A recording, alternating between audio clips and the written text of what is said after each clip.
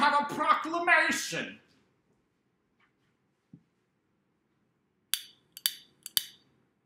Woo!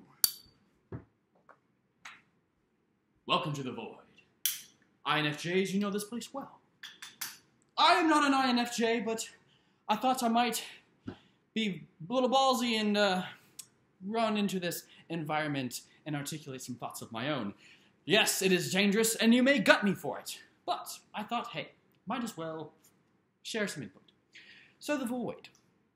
Um, whenever you find yourself wanting to articulate something that is impactful, meaningful, and you've been slaving over it for months, and you now proclaim this inevitable, proclaim this amazing fact that you have been like you you have every ins and out, and you share it with the world, and no one gives a beep. And you're like, there's the void. There it is again and again, and no one cares about what I'm trying to say, what I'm trying to share, and they don't understand the problems in their own self. And I have embodied this so rich and deep, and no one seems to give a crap. INFJs, you are incredible individuals. But this is something I must share with you. The reason why the void happens, and now there, there are probably other different types of voids, and I'm not even going to pretend to understand the, the depths of what you guys feel. However, this one point, this one part, if you have gone into the depths of a topic, either that you have created on your own or you have researched on your with yourself by yourself, um, whatever topic that may be, you cannot expect people to immediately be there emotionally with you when you when, you first articulate the proclamation that you have regarding this topic, whether it be um, basically needing to change the hearts of men, or you have a project that is just fueled with just outrageous passion and justice and glory, and you're expecting people to charge along with you because you are there, doggone it. But instead, you get an awkward stare. People kind of brush it off and like, that was kind of weird.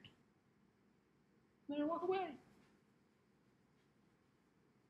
And then you get angry. You're like, why is the world so against me? They are full of fu- fuels, fuels, fools, and um, ignorant people, and blah blah blah. Um, but the thing is, INTP. I'm sorry, I, I get so used to talking to INTPs.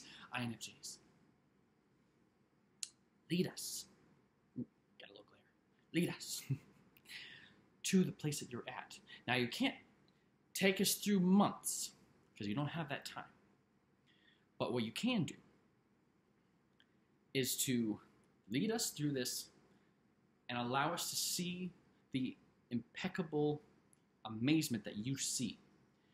You have to give us the cream of the crop, but allow it to be enough to draw us in. We want to be a part of it.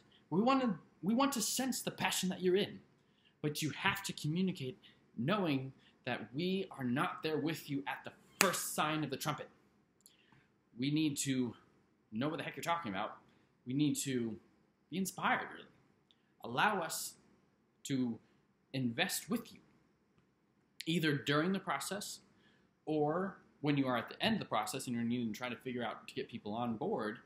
Um, allow them to uh, just entice them of the idea rather than just kind of pulling it out out there and expecting people to be like, oh, hallelujah, that's what we've been waiting for this whole time, and then charge after it.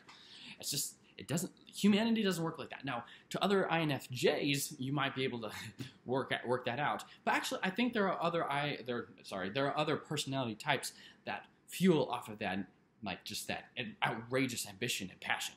And they will charge after that, and they don't even know what they're, what you're even talking about. And they're just trusting you along the way. Great as a slim pe- that's a slim amount of people, unfortunately.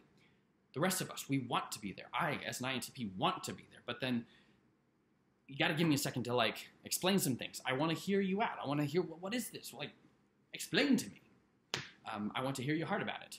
Um, inspire me, for goodness sake. And that will be a good first start to stepping away from the void. I'll see you guys in another video in another life. You never know, but you might. Know.